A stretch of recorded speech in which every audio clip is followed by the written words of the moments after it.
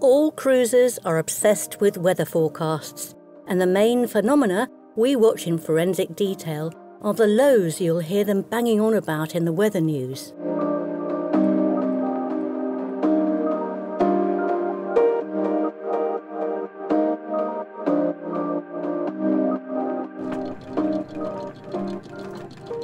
We had a nice little line this morning. It's 8 o'clock rather than 6 o'clock, which is great. It's a shorter distance today, although I am expecting some kind of current to run up and down this channel. So let's find out, eh?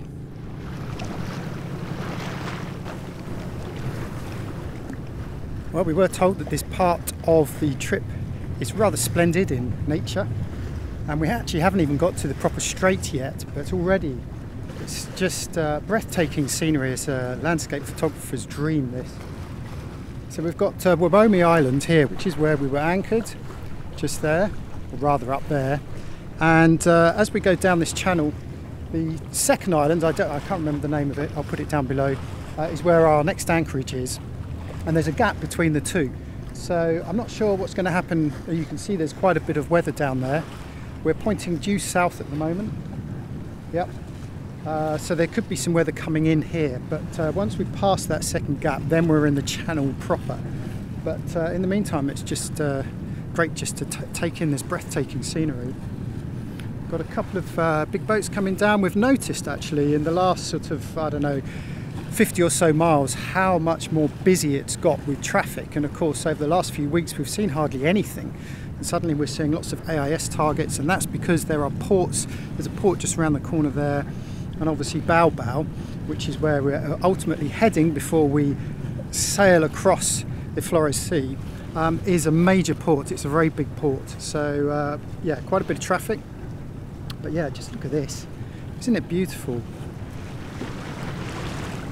We're entering the Buton Strait, uh, about 20 to 25 miles, depending on exactly how we take it, to the first anchorage tonight. So as long as it stays as flat as this, this will be really... well it's a very grey morning as we enter the Buton Strait. Uh, the good news is that now it's completely flat in here and it should remain so uh, for the next two or three days as we make our way south to Baubau.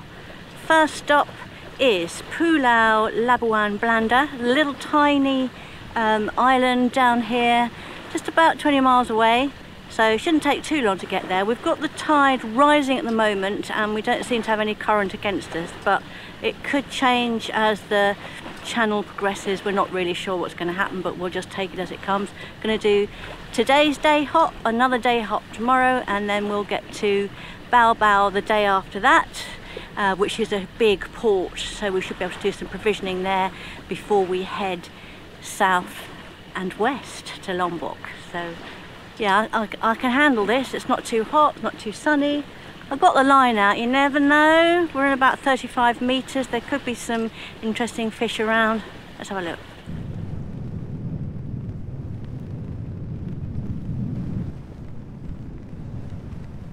So this is the gap between Wowoni Island and the island of Bulon. Should have known that because that's what the strait is called, the Bulon Strait. And uh, of course, this is allowing that southeasterly swell that we know and love so dearly to come through. Uh, there's a bit of wind as well, so we are actually able to motor sail with just enough off the wind we can keep the head sail out. Uh, quite busy, there's a few tugs coming from different directions. There's obviously a port just over there, we've seen a tug come out, there's a few more coming up, but uh, we're staying well over the channel and uh, trying to stay out of the way We've passed the shallow reefs and uh, obstructions underwater, so hopefully it's a straight run now to our next anchorage, um, minus the odd squall building up just over there.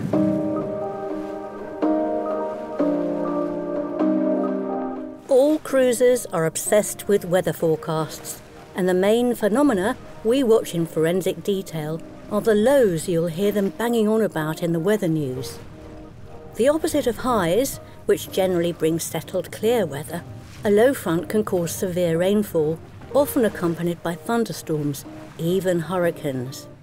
The National Geographic Society neatly sums up fronts. A front is a weather system that is the boundary separating two different types of air. One type of air is usually denser than the other, with different temperatures and different levels of humidity.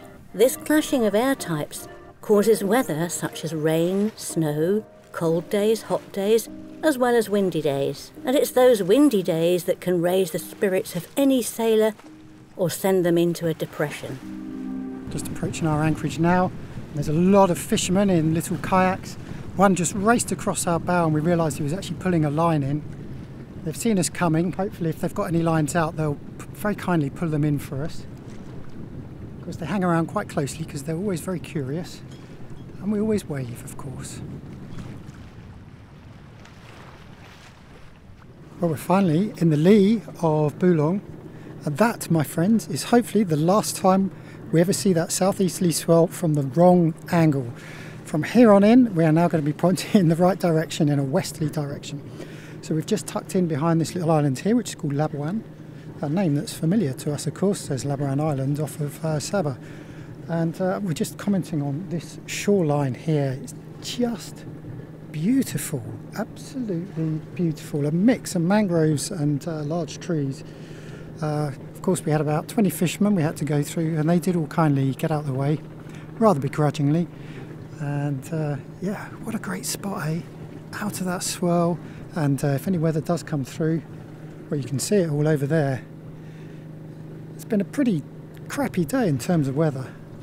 Thank God we um, we did our last two three days when we did because I think if we'd been two or three days later, we wouldn't have made it down here. This is a lovely spot. Horrible grey day of, of motoring, fairly eh, leisurely along the, the strait here, but we found ourselves behind a small island opposite a couple of little towns and lots of pretty houses with little beaches and it's dead calm. Uh, it's, it's so lovely. Can hear cockerels crowing, can hear some insects I think and some birds. It's uh, oh really pretty. Weirdly, it reminds me of my old stomping ground down in southwest England, the River Dart. It was a bit like this, these little villages and the odd little house here and there going straight down into the water.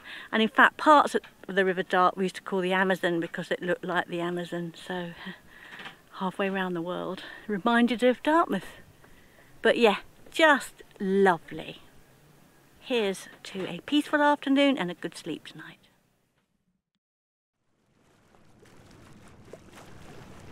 Right, as I said yesterday, I think that is the end of going east. It is now west all the way, which is bloody marvellous. We're also now going in between Bulong and the mainland, which means that we will have little in the way of swell. I think, I hope.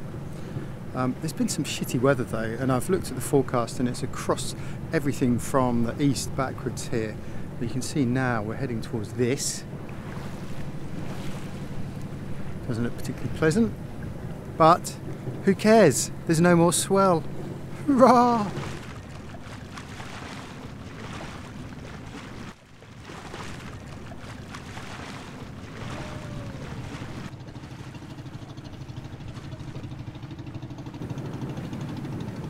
I think I refer to this as Bulong.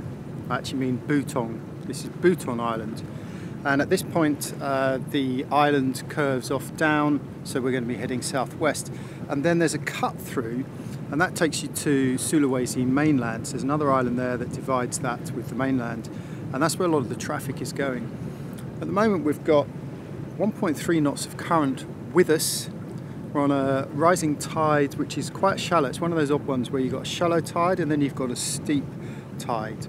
So it'll be interesting to see what happens when that tide turns um, that's the one biggest thing I've that's always bothered me is that there's probably going to be some pretty strong currents down here because the channel gets tighter and tighter and tighter. And at one point there's a little cut through that's uh, less than 500 meters wide.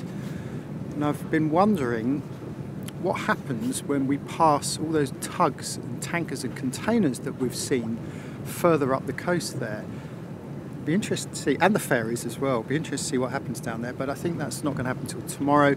Next anchorage is further down. Now, the thing is with this uh, Buton Island is that it's quite shallow all the way down the coast. So potentially you could anchor anywhere, really.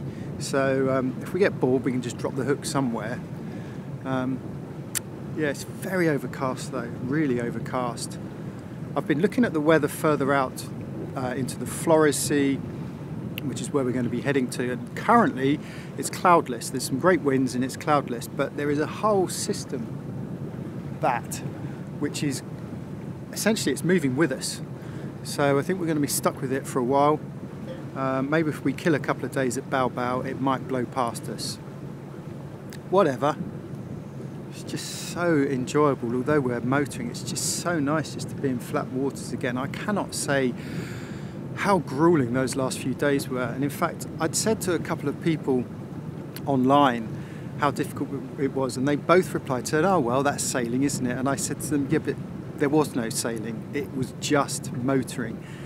Sailing at three and a half knots, don't have a problem with that. Motoring at three and a half knots in crappy conditions is just it's exhausting. So uh, that's probably why I look a bit tired and grubby." Uh, just haven't really had a chance just to sort of relax a bit. So hopefully that's what's going to happen over the next few days. Meanwhile, I've been passage planning as well. Once we leave Baubau, that's when we go out into the open sea again. But in fact, there are a number of islands dotted along the way, which we could call into, some reefs as well, which look quite interesting. So weather dependent, we may actually stop along the way. Um, also time dependent as well. We are now uh, less than a month before we have to fly out of Indonesia. So let's just hope we make it to Lombok, haul the boat out and get out in time. It's a very grey day. Reminds me a little bit of back home in the UK. Lots of grey clouds hanging up above us and a fair old bit of drizzly rain. The main difference is of course that it's about 30 degrees here so there's not those nasty stinging little bits of rain getting in your eyes everything. So enough of the complaining. The good news is there's no swell. Hooray! So it's flat. The bad news, no wind. Boo! So there's no sailing. But it's a gentle, easy day. Uh, some quite spectacular scenery around us. These uh, clouds and a bit of rain really make a difference when you look at the mountains and, and the way it just hangs in the, in the, in the valleys, this misty rain quite spooky but also quite beautiful. 30 miles from start to finish today was the plan but we've got quite a lot of current with us so we think if we're not too tired, if we're feeling fresh, current is good and we're making good good speed, we'll go on a little bit further. Because it does look as though you can probably anchor anywhere you like in the whole of this strait. It doesn't get too deep and the edges are fairly shallow. I have tried fishing, I've got a line out now, nothing's biting, not my day, but uh, I will keep trying and changing the lures and changing the methods and we'll just see if anything at all is interested. There must be something because there are so many fishing boats out here. Uh, first squall of the day, just coming across. Just in time as we're about to approach a whole bunch of little fishing boats and fishing stakes as well. Uh, so I've decided to just steer out further into the channel, hoping that uh, all the commercial vessels are on AIS. I can see one, uh, but we're staying close enough in. We're sort of outside the main route uh, shipping channel, I suppose. But uh, if this squall gets any worse, the visibility is going to drop right down. I don't want to be ploughing over any of these little fishing boats. So, and also the current has dropped, so our speed has dropped by a knot as well, which is actually quite a good thing.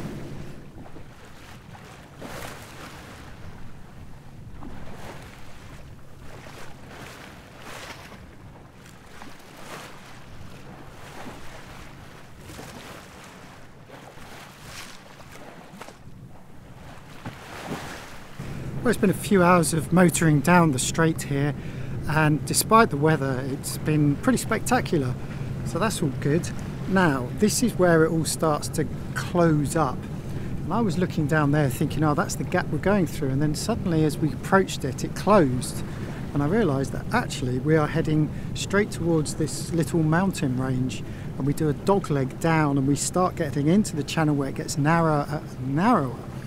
So uh, it will be uh, interesting to see how this pans out because as you look at it now, it just looks like a dead end.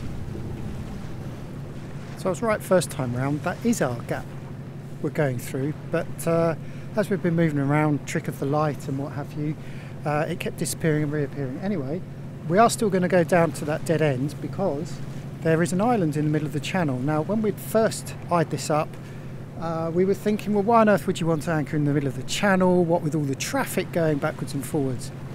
Well, there is no traffic. It seems as if all the AIS targets, the tugs, the cargo ships, and what have you, they were all travelling further north and cutting through that bigger island to head to Sulawesi mainland. We haven't seen anything come up this way at all except a rowboat. So uh, we're just half an hour away now uh, from this island. It's such a shame that I won't be able to fly the drone because uh, it would be very interesting to get a bird's eye view of this whole area. But uh, this should give us a little bit of protection from this horrible drizzle that we've had all day.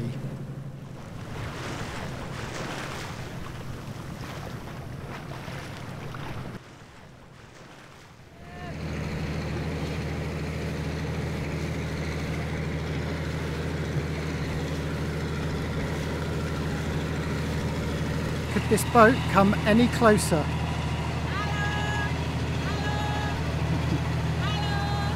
How are you? Local ferry. As Liz just said, thank God she took her line in because that would have gone straight over the back of it. Doesn't look particularly seaworthy, does it?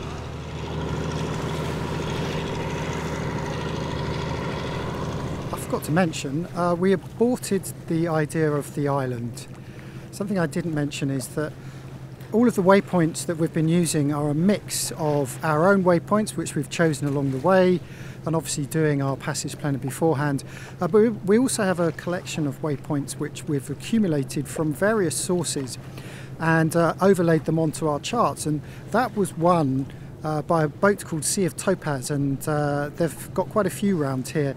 They're all about 10 years old though, and when we approached it, their anchorage spot said 18 metres. Well, we measured 22, and that had us less than 100 metres from the reef. And I think, as I've said before, I just have a general rule 100 metres minimum distance between uh, the anchor stretched out and the reef. So it just, you know, with the weather as it is at the moment, we just didn't feel particularly happy about that. So, anyway, we had some other contingencies. Uh, as I've said before, the, co- the whole coastline is gets quite shallow uh, as you approach it. So there's plenty of opportunities to anchor elsewhere, and so that's what we're doing. Heading down the coast another couple of miles. Uh, very nearly anchored here, actually. A little settlement here. You possibly can hear the birdhouse in the background and uh, we were approaching the shore and Liz pointed out there was a kayak tied up to a mooring buoy which would indicate that there's actually a bigger fishing boat that was going to come in at some point and just don't want to anchor near fishing boats. The other thing we're trying to avoid are these, uh, you keep seeing these little jetties and that's the local ferry that will come in and out as well so we just want to avoid those. I think if we had to, Liz was saying we would probably quite happily anchor there but there are plenty more options further down the coast so we're just going to go around the corner and see what else we can find. Well, looks like this is going to be our home for the night. Uh, we just followed the line around the, the 20 metre contour line. As we came around the corner, it uh, got a little bit shallower. And I was gazing over there, and then suddenly we were in six metres. And uh, if you look at the satellite image, you can just about see a shallow patch. Anyway, we are now anchored in 13 metres, just away from the main town. There were lots of um, screaming children, blokes in kayaks, birdhouse making a terrible racket.